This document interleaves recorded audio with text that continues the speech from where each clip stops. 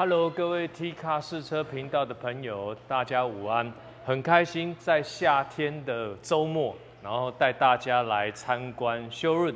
我今天现在的位置呢是在 Kia 的北投展示点。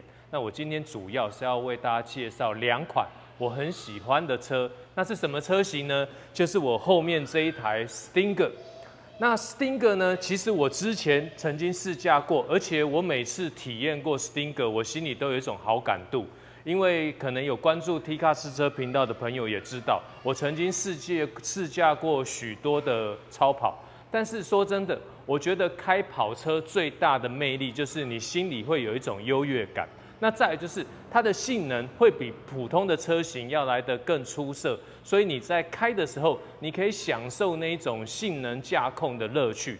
但是有时候你会觉得开性能太癫狂的跑车，你全身要紧绷，所以你会觉得开 GT 跑车反而有一种优雅。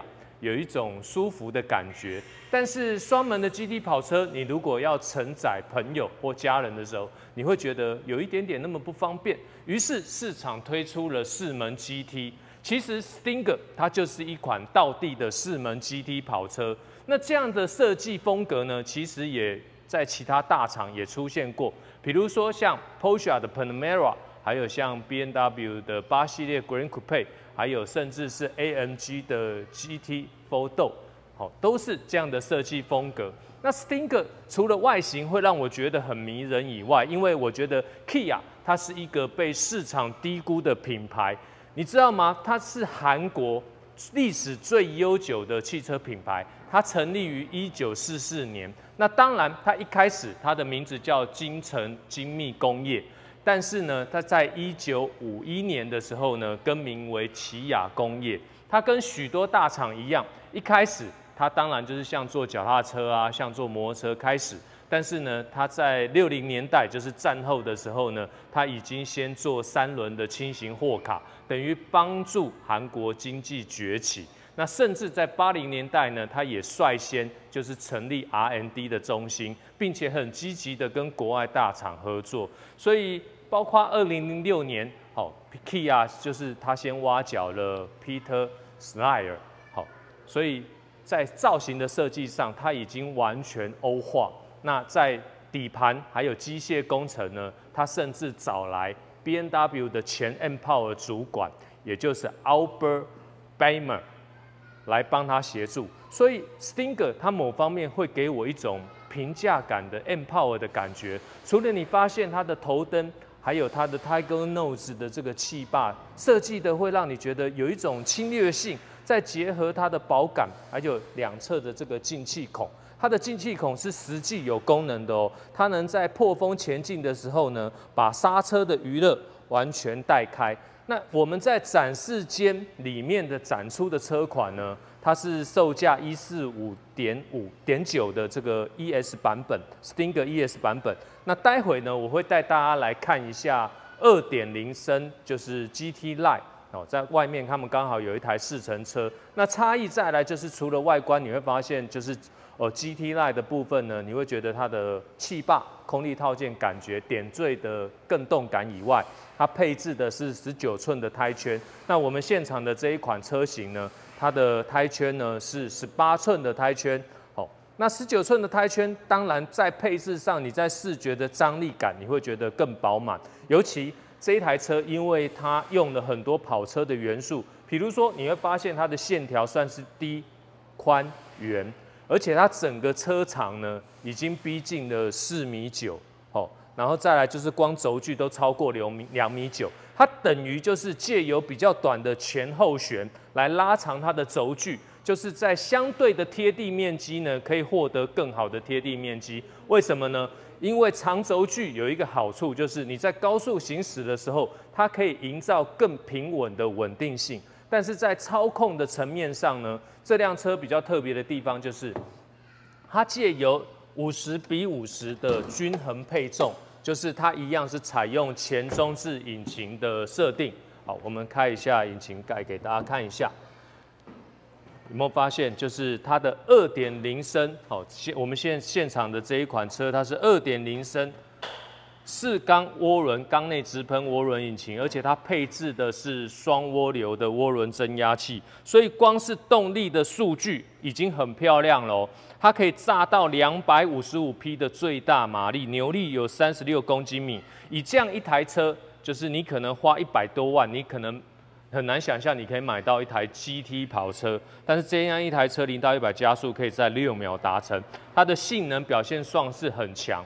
它的动力数据甚至比就是哦水货车卖得很好的宾士 C 三百要来的更大，就是在加速性能或操控性能表现来讲，它其实都不亚于德国车哦，所以算是很出色的一台 GT 跑车。而且你会发现它的空间，引擎室的空间好，还有一些空间，主要就是说它可以有很好的散热，而且。它还有六缸的版本，就是正的 GT 版本，售价二十二两百二十二二二五点九万元的三点三，那这个性能表现更强，而且它用的是全时四驱的设定。那这一台车为什么它迷人呢？因为我觉得在操控的表现上呢，它甚至能够对应它的外形，因为很多车漂亮，可是它在操控的时候少了一点点犀利度。但是你知道吗？Stinger，它的名字就跟它的操控表现就跟它的名字一样，就像一个刺针。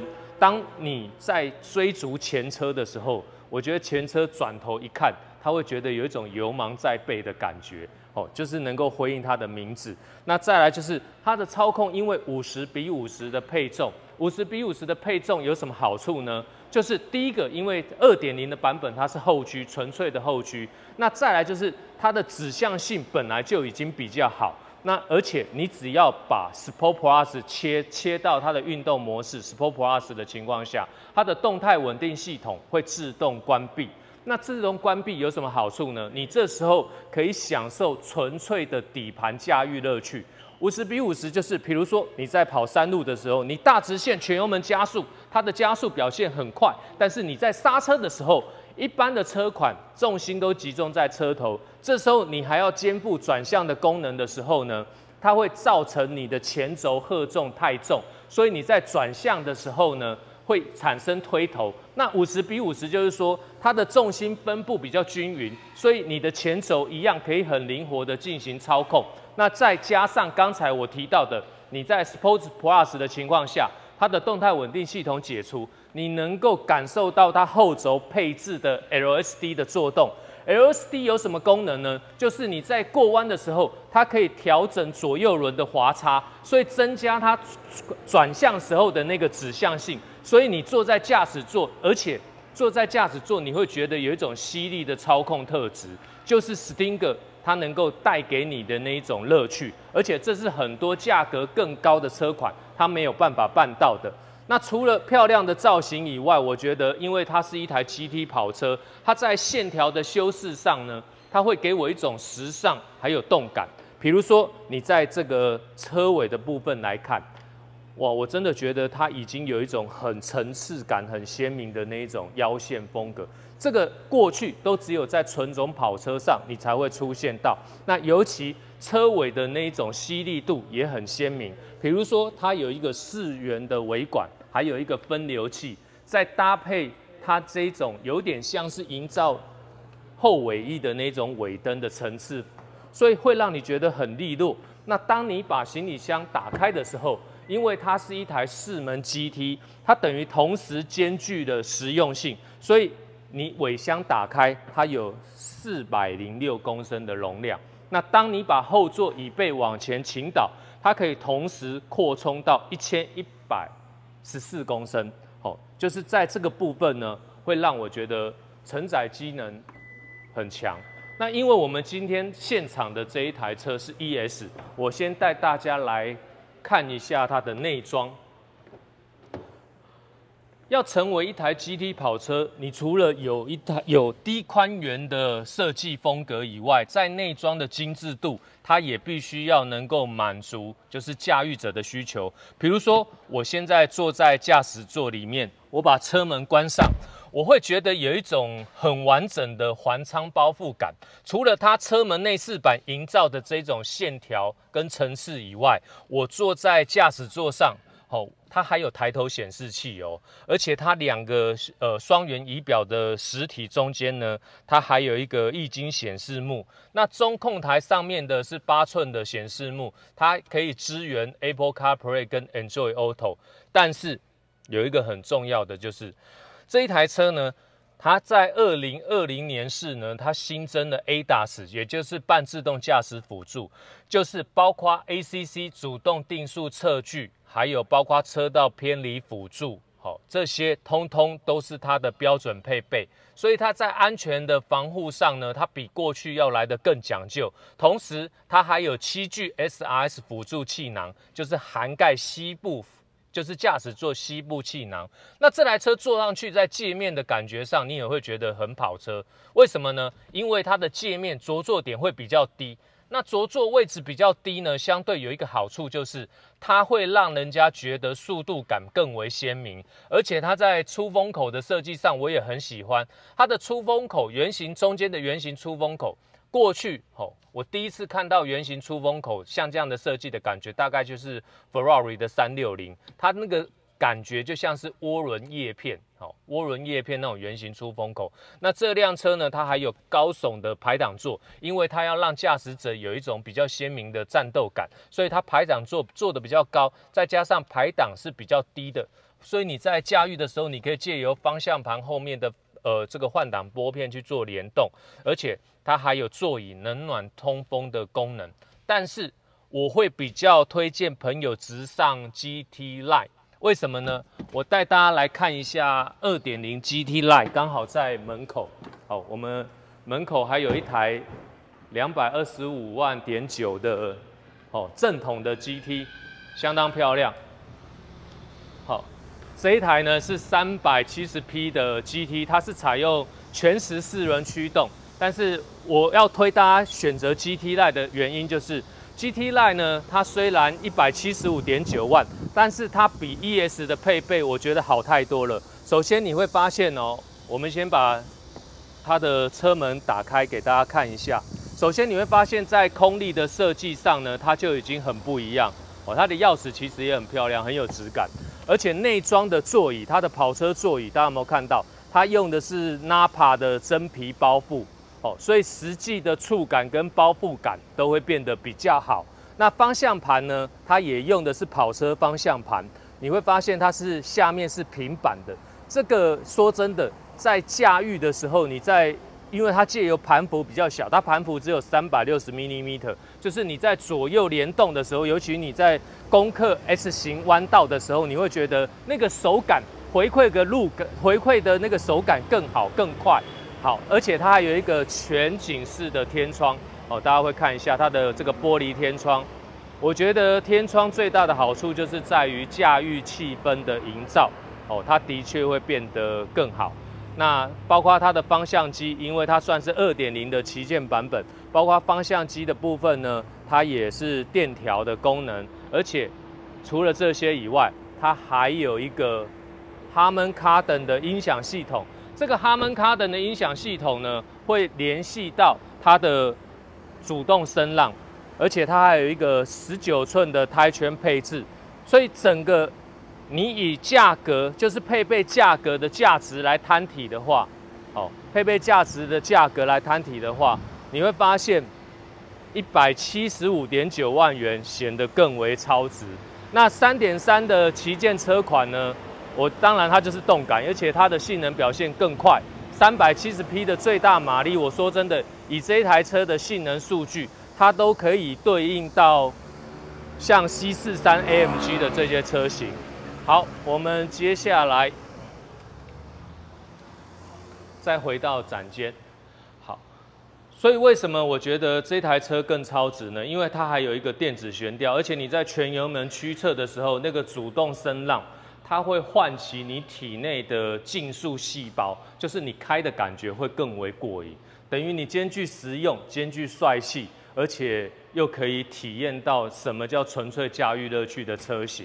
那对于很多朋友，哦，就是呃，你知道现在是毕业季节，那很多年轻人他毕业了，他也可能准备出社会，那甚至有的读读大学可能会读比较远，那家人可能会呃想要选一台不错的车给他。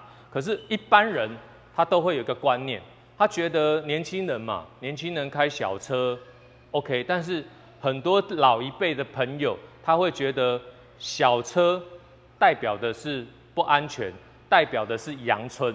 但是我今天要跟大家推荐一款小车，是我觉得它不会让你有那种传统窠臼印象，而且它会颠覆你过去印象，甚至有一点点惊艳感觉的一台小型车型。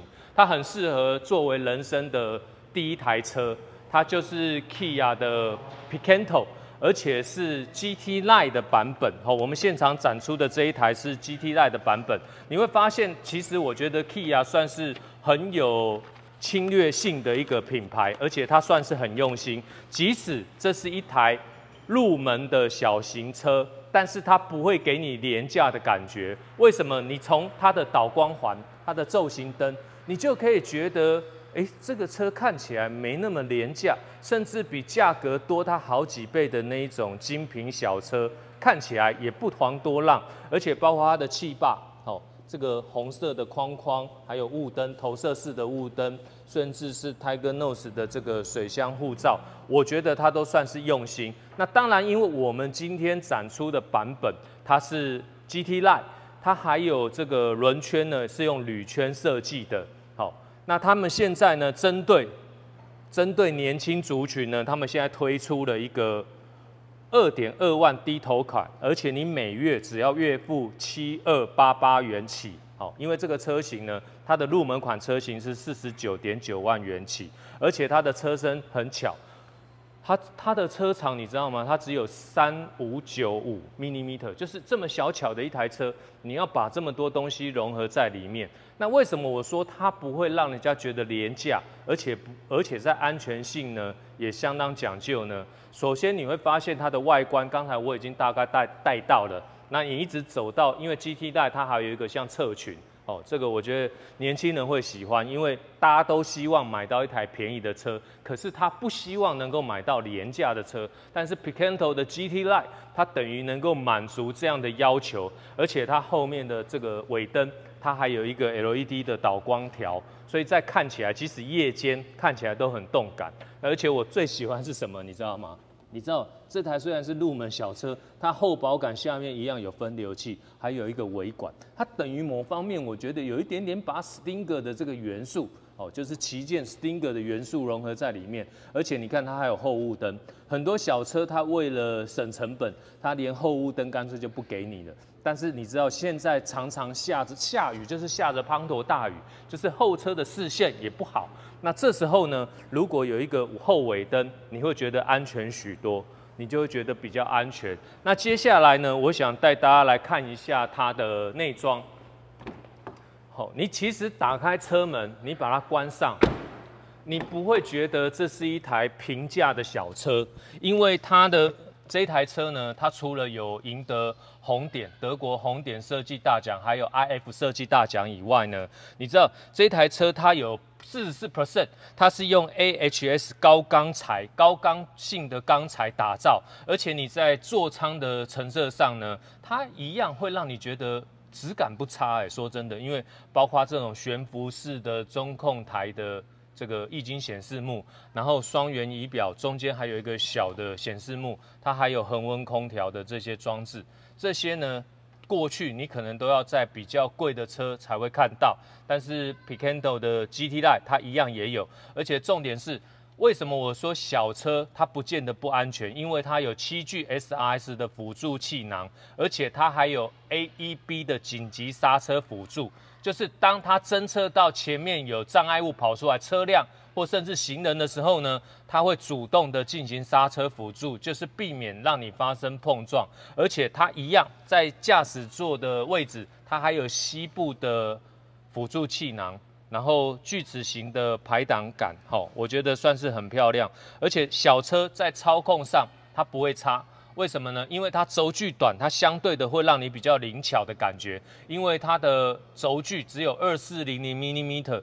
它是用前麦花臣后扭力梁，但是你知道吗？欧洲很喜欧洲的车，很多小车喜欢用这样的设计，就是当你在转向的时候呢，因为它的车体哦，它的车体，因为我们这一台车它是 GT Line，所以它也不重，它大概是一公吨左右的车重。那再配上它的动力表现，虽然你会觉得它的马力数值好像没有特别的强哦，因为它是八十四匹，但是它可以营造十六点七每公升十六点七公里的这一种优异油耗。那你在开的时候，有时候你跑山路上山下海，它的动力。不是特别大，但是它会让你觉得顺。但你在过弯的时候，扭力梁因为它的受压轮哦，因为惯性的关系，它会让你觉得有一种车尾有一点点外带的感觉，所以相对的它可以辅助你的转向，让你在过弯的时候感觉变得更为灵巧。那再来就是这台车呢，它还有 TVBB 的弯道，